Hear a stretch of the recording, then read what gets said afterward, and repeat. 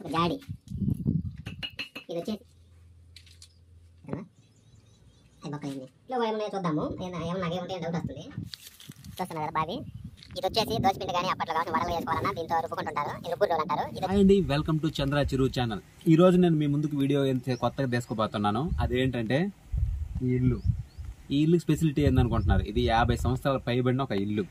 ఇప్పటి కాలంలో మీ అందరూ తెలుసు. డబల్ బెడ్రూమ్ ఫ్లాట్లు ఒక్కొక్కడికి ఒక డైనింగ్ రూమ్ స్టడీ రూమ్ అని చెప్పేసి కొత్త కొత్త సెల్ఫ్లు ఒక స్టైల్గా నచ్చిన నచ్చిన విధాలంగా పైన రూపు కావాలంటే దానికి మళ్ళీ రూఫింగ్ ఇంత కొత్త కొత్త టెక్నాలజీలో ఉన్నప్పుడు పాతకాలంలో ఉండే ఇల్లులు ఏ విధంగా ఉండేవి? అప్పుడు ఫ్యామిలీలు అందరూ కలిసి ఏ విధంగా ఒకే ఇంట్లో ఉండేవాళ్ళు? ఇప్పుడు కావాలంటే ఎవరు గది వాళ్ళకి బెడ్రూమ్ కావాలంటే bedroom single bedroom double bedroom అట్లా ఉండే కదా.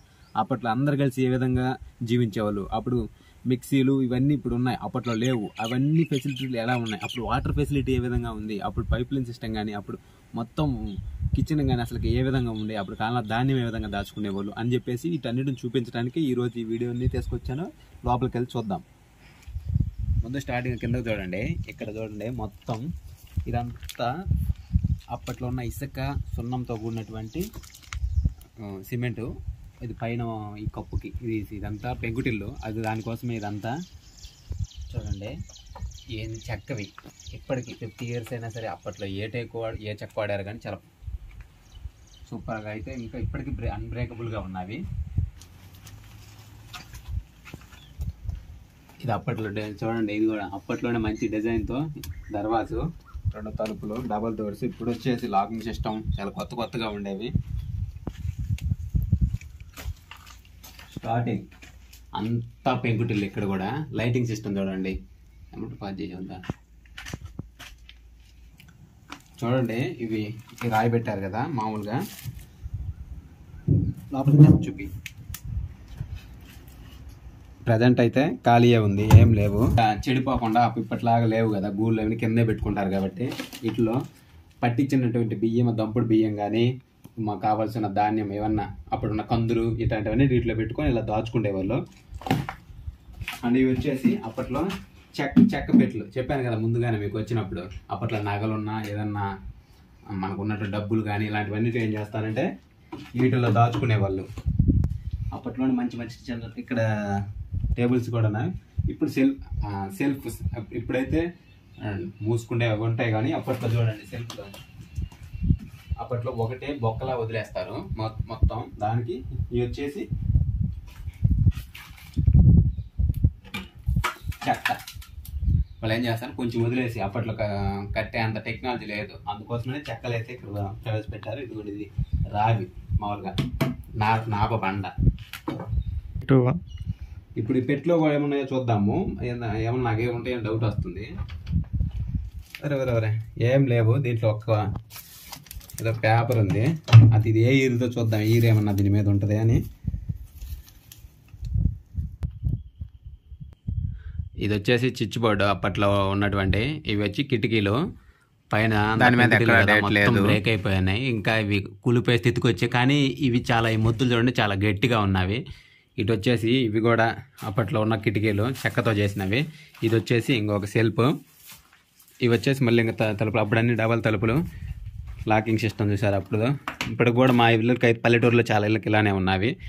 ఇంక ఇది వచ్చేసి జాడి. ఇది వచ్చేసి దాన్ని ఏమంటారు? మట్టితో కాదు అట్లా మామూలుగా కుండ లాంటిది కాదు. కొత్త రకమైన జాడి. అప్పట్లో ఏమైందంటే చిన్న తొక్కు మామిడి తొక్కు ఇవన్నీ ఏంటంటే పాడవకుండా ఇలాంటి జాడీలు అయితే పెట్టుకుంటుంటారు.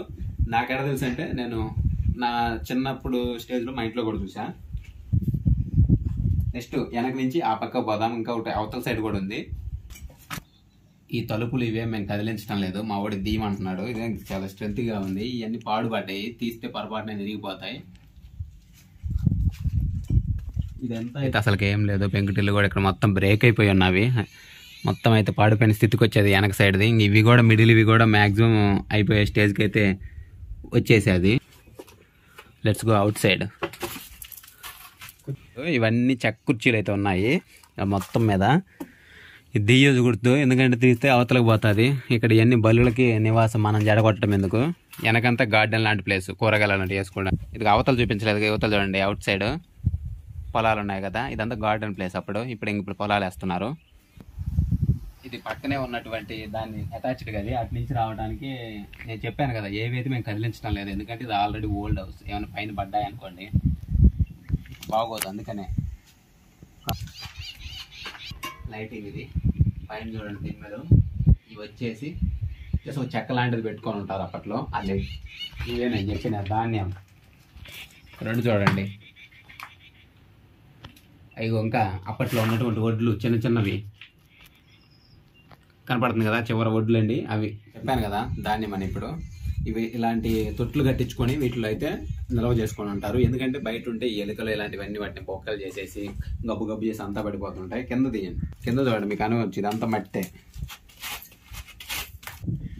చూసారు కదా అంత మట్టి. అప్పుడు ఖర్చు నెల కూడా కాదు అంత మట్టితోనే చేసినటువంటి వాటి మీదే ఇట్టి కల్లాప మీదగా కల్లాప ఉంటుంది కదా దాన్ని అంత నీట్గా అనుకొని అప్పుడు జీవించేవాళ్ళు ఇక్కడ. చూసారు చూశారు కదా పైన.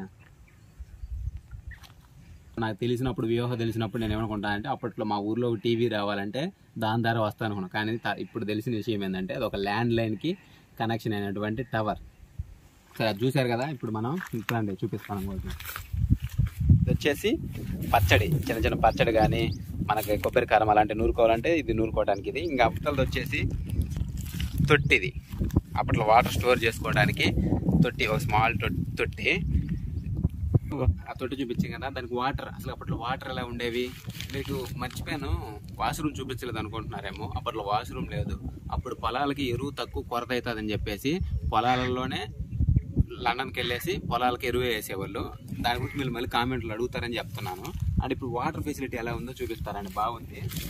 వాటర్ ఫెసిలిటీ ఇప్పుడు వచ్చేసి బావులు తవ్వి ఆ బావులు వాటరే అప్పుడు ఆ తొట్టికైనా సరే బిందెలతో చేదుకొని చేదుడు బావి అంటారు.